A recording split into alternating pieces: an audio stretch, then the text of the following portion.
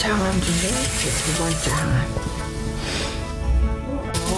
부작용 나지 말라고 지금 주사도 몇 대 맞고 지금 그 수액을 맞고 아직 아, 항암제가 아직 안 올라왔대요. 그래서 기다리고 있어요. 지금 부작용 약들 나지 말라는 약들 맞고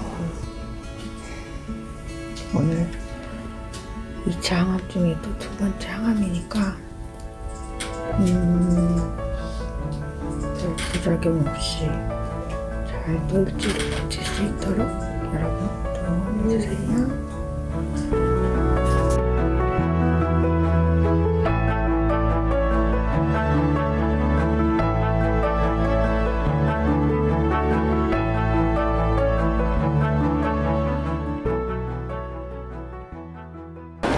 지금은 어, 여태까지 그 의료진비 받으려고 어, 했었던 그 증명서를 떼어가지고 지금 팩스를 보내주는 중이에요. 서울대학교 일단 서울대학교는 이렇게 팩스도 넣어주는 서비스도 같이 하고 있답니다.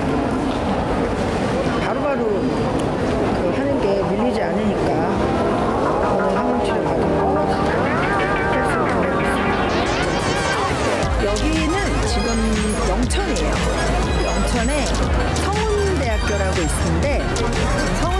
성운대학교에서 오늘 체육대회 행사가 있어요. 그래가지고 좀 컨디션은 조금 안 좋고 그리고 내일 모레 또 2차 항암에서 두 번째 또 항암을 하러 가거든요. 음.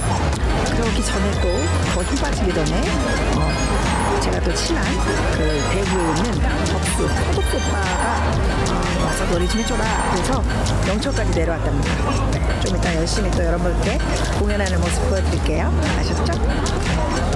응원해주세요.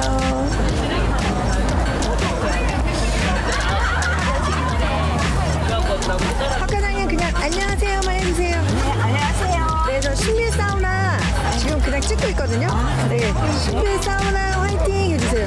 신비 사우나 언니도 좋아 신비 사우나 화이팅! 네, 구독 아직 안 하셨으니까 해주세요. 네. 네. 감사합니다. 힘찬 박수로 모셔보도록 하겠습니다.